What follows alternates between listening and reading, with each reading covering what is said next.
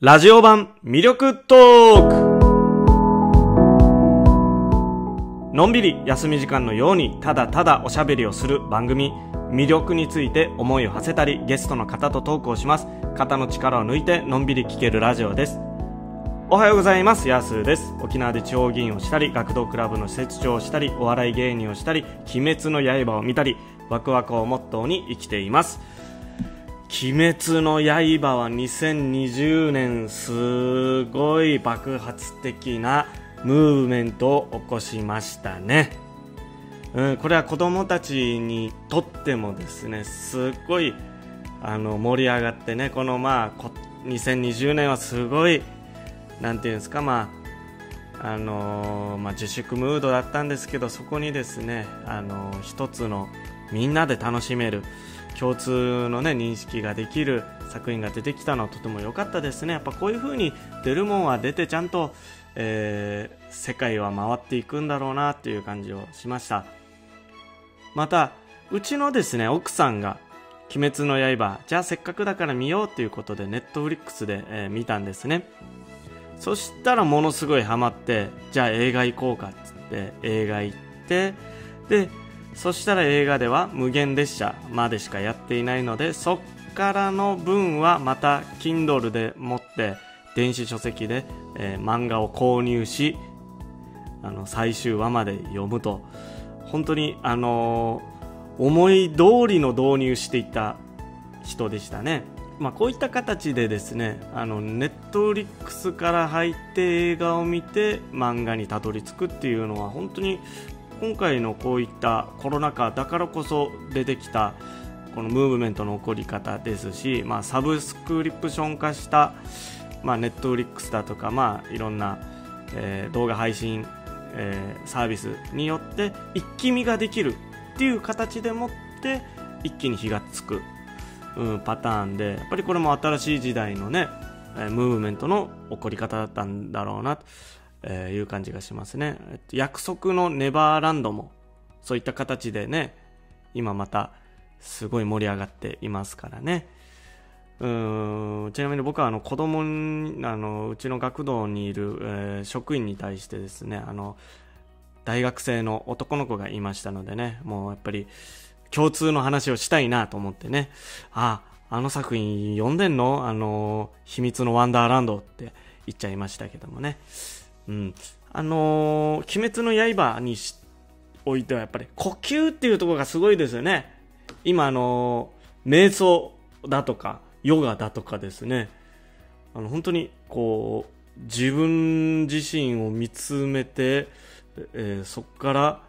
自分の最大限の力を発揮する。これすごいいいテーマですよね。この間、うちの家の小学校の前を通ったらですねあの体育の練習をしている学年がありましてもうここぞとばかりにねあの学校の先生はずっと全集中の呼吸！とか言っておー！とか言ってねあの子供たちを鼓舞している姿が見えましたけどそういったところでも使いやすいはい全全集中だよ！とか言ってねあの子供たちを鼓舞している姿を見ましたけどもねあまり教育にね利用しすぎるのもあまり良くないのでね。あのまあ形上は まあそういったまあ楽しいあの声かけの一つとしてねやっていった方がいいですよね。これがまたもう教育の一環になるとまたエンタメ性がなくなって面白くなくなっちゃうかもしれません。そんなことはもう鬼滅の刃においてはないとは思いますけどうんまあこれからもですね映画も楽しみだなとは思いますしね。まあ私も炭治郎のマスクを買って、え議会においては一般質問をしてきましたのでね、今度はあの議会だよりご覧いただいてね、あ、玉木康則議員は鬼滅の刃のマスクをして一般質問しているっていうのをね、子供たちが少しでも気づいてくれたらなと思ってそういった形でしました。で、今日もですね、あの、一人喋りという、えー、形になるんですけども、えー、っと、ソウルフルワールドという映画を見て、ものすごい奥さんとテンション上がって興奮して、これはもう今年一番の作品出てきたねって言ってテンションが上がっちゃったので、その話をね、ネタバレはしない程度で、えお話をしていきたいんですけど、まあ、あらすじレベルは喋りますので、まあ、うん、ちょっとあの作品を見てから聞くっていう方はぜひそうしていただいても構いません。はい。でね、えー、まあ、これは、あのー、本来であれば、えー、まあ、映画館での上映だったんですよね。それがやっぱりまあこういった、え、コロナ禍の状況において、え、ディズニープラス配信にしようということで、え、ディズニー、ピクサーが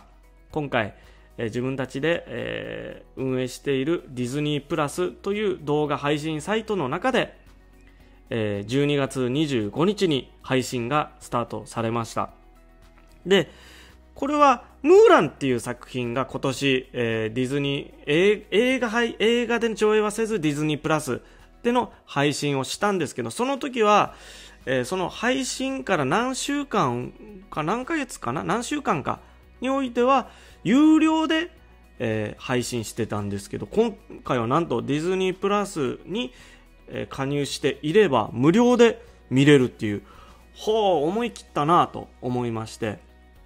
まあ、サブスクの、こういうサブスク製の、えー、動画配信で結構ディズニーが思い切った行動を取ったなっていう印象もまず受けましたね。で、えー、ディズニーピクサーの映画は、まあ、今まででいくと、まあ、トイ・ストーリー4、トイ・ストーリーシリーズ、最近で言うとトイ・ストーリー4、で、インクレディブル、ミスター・インクレディブル、そしてインクレディブル・ファミリー、だとかね。で、リメンバーミーも最近、えー、やりました。で、ファインディング・ニモ、ファインディングドリーと、こういうまあ、えー、ディズニーの中でも、この、えー、CG を、え、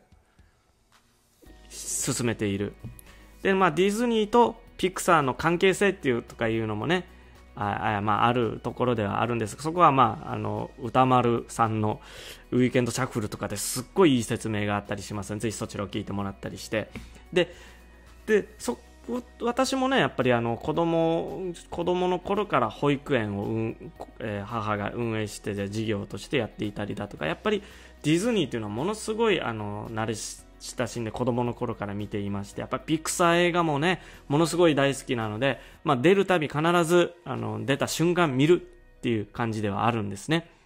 で、今回のソウル、ソウルフルワールドっていうネーミングになっちゃうんですよね。まあ、この、この問題もまたちょっと面白いんですけど、あの、ピクサーの映画っていうのは全部一文字でのタイトルなんですよね。えー、フローズンだとか、でもそれをなぜか日本に持ってくるときには、アナと雪の女王みたいな、うん、まあなんかジブリに寄せてしまってるんでしょうね。それをまだ未だに続けてったりするんですよね。で、カール G さんと空飛ぶ家。これも本当であれば UP にびっくりマークと書いてアップであったり、うーん、なぜちょっとなんとかのなんとかの何にしちゃうんだろうな。もうそろそろやめてもいいのになと思うんですけど。で、ソウルはもうソウルでいいのに、ソウルフルワールドってな、なんでちょっと1文字で行くのを、あえて全部やめちゃうのか。これぜひ知ってる方は教えていただきたいんですけども、まあ、ソウルフルワールド。でね、今回これジャズのピアニストが、えー、主人公であるので、で、やっぱりジャズのこのソウル、ソウルミュージックともかかってるはずだからもうソウルで合ってるんですよ。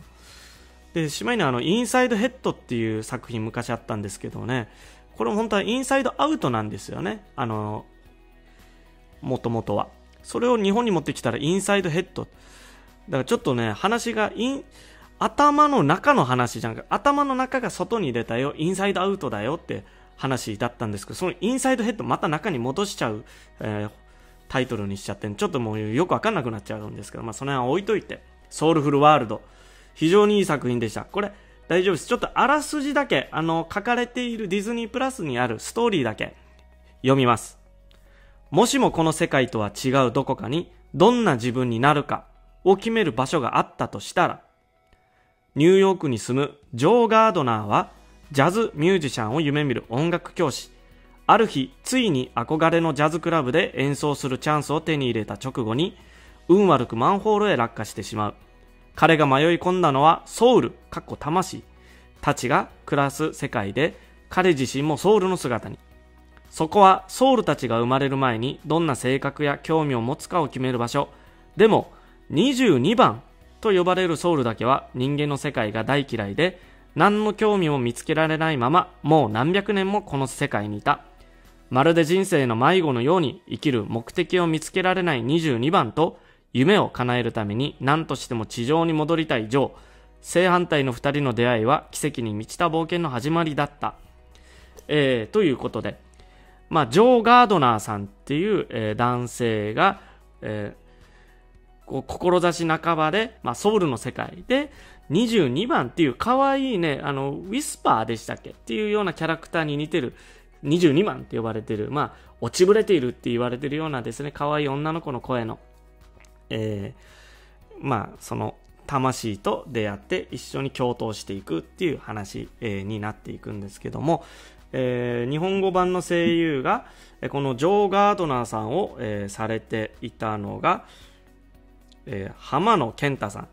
そして22番の役を、えー、川栄里奈さんが決定ということで、えー、浜野健太さん、どっかで、声聞いたことがあるなと思ったらですね、まあ、あのお母さんと一緒60周年の 時のですね、あの亀犬ということで、1週間ですね、あの、この MC として、えー、勤めていた浜健さん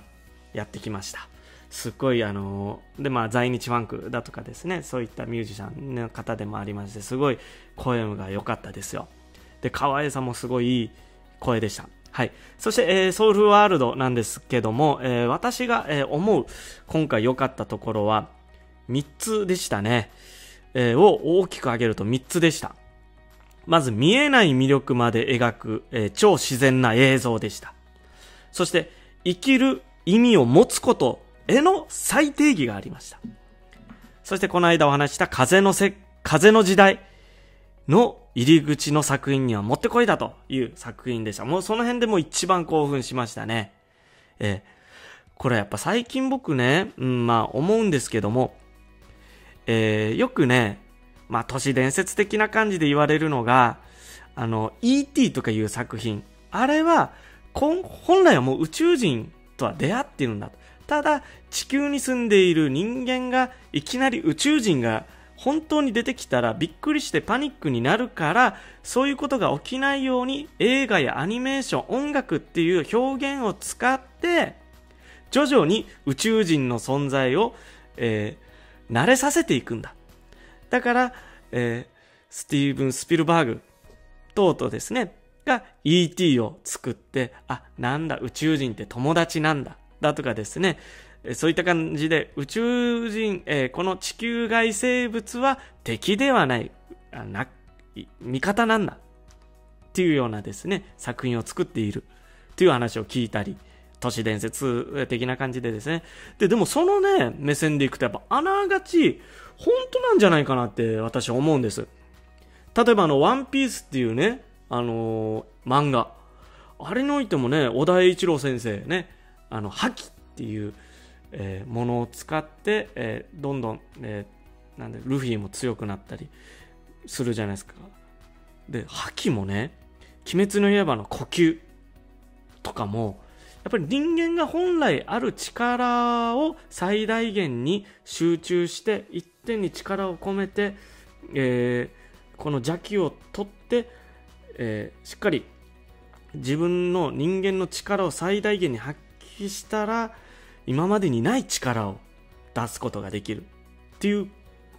共通点があるんですけどもやっぱり小田さんもね「えー、鬼滅の刃も」も本当にこれ知ってた上でもう異次元次元以降上の世界の人が我々に分かりやすくこういう漫画とか映像作品でもって説明してんだろうなって本当に感じちゃうんで、今回のソウルフルワールドもまさにそんな感じをするんですよ。うん。見えない世界って実はこうなっているんですよっていうのをまあ面白おかしく、まあユーモユーモラスに描いて、まあまあアニメなんだから、アニメなんで、あのー、まあ信じる信じないじゃなくて、ここんな世界があったらいいよねっていうレベルで、まずは表現している。じゃないのかな。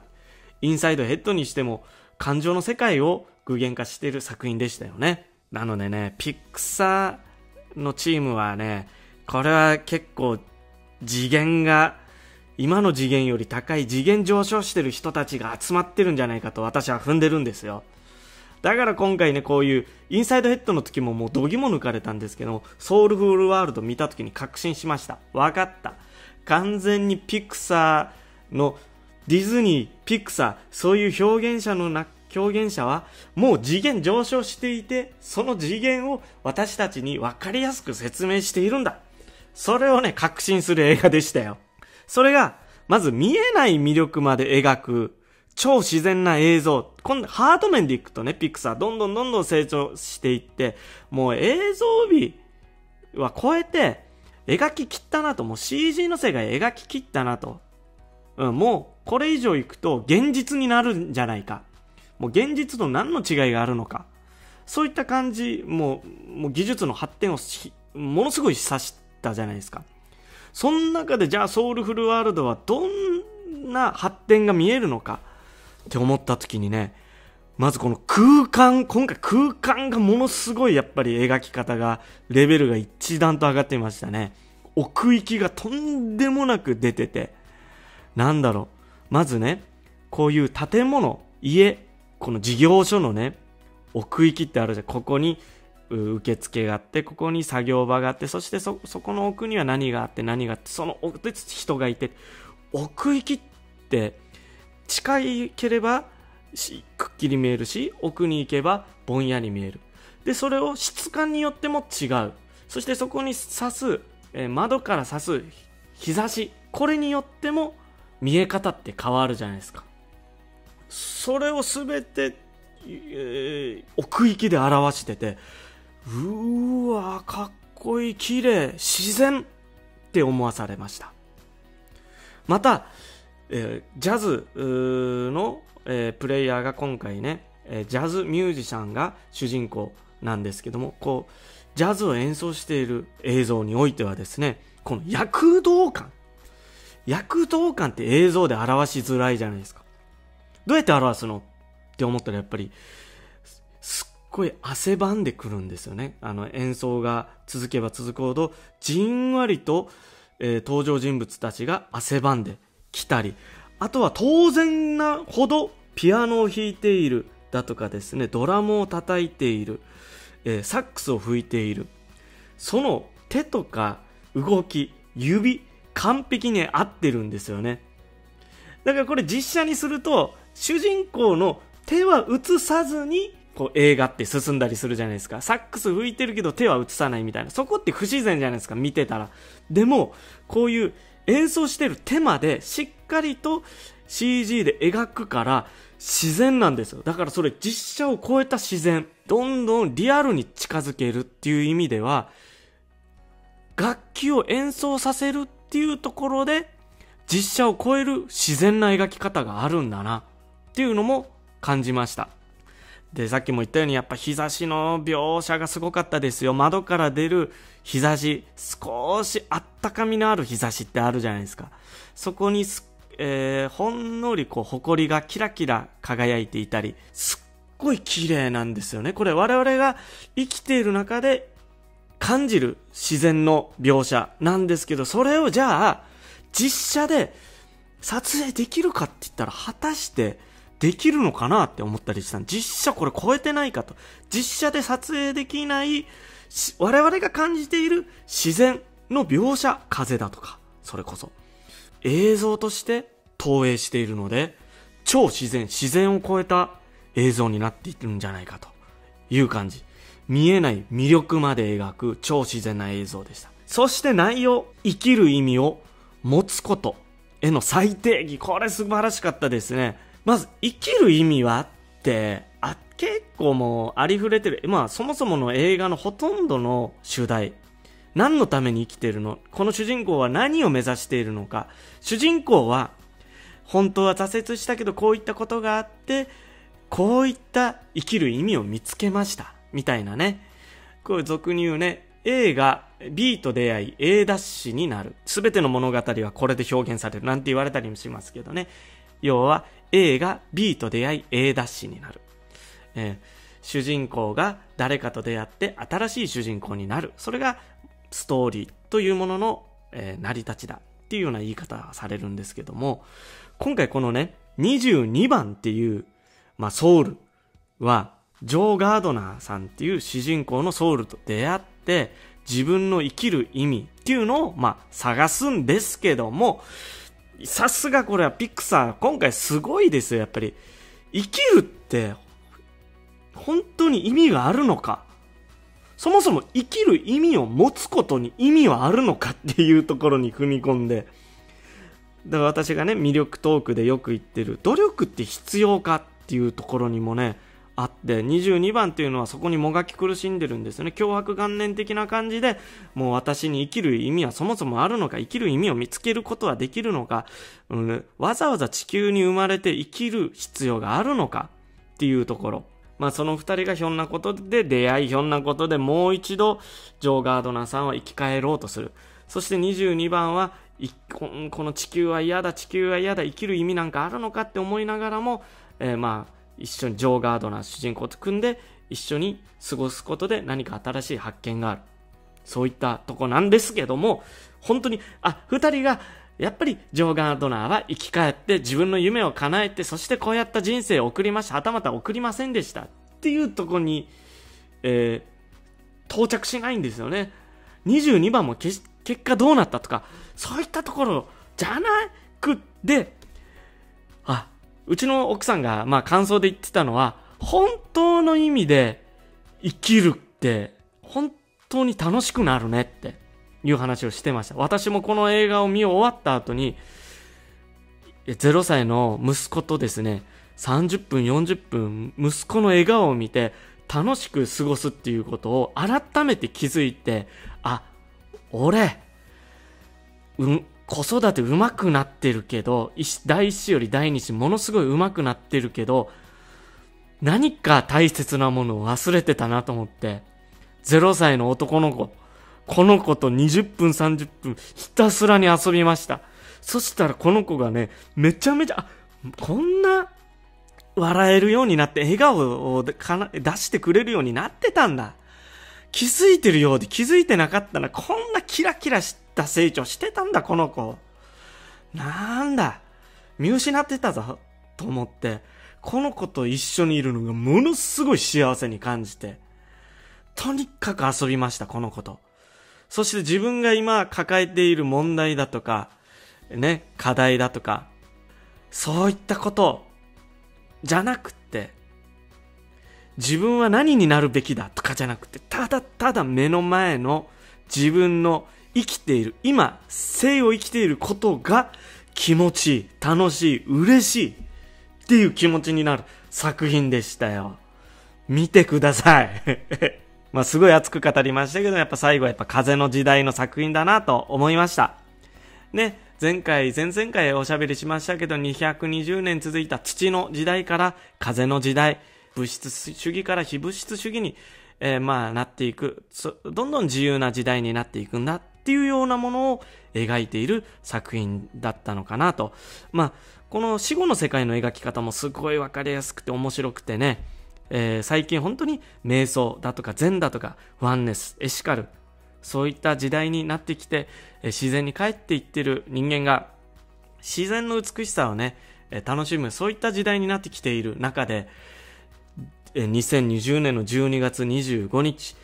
風の時代になって、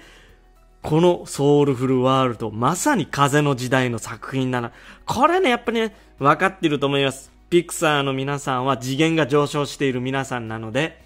風の時代の一発目はこれを打とうぜと。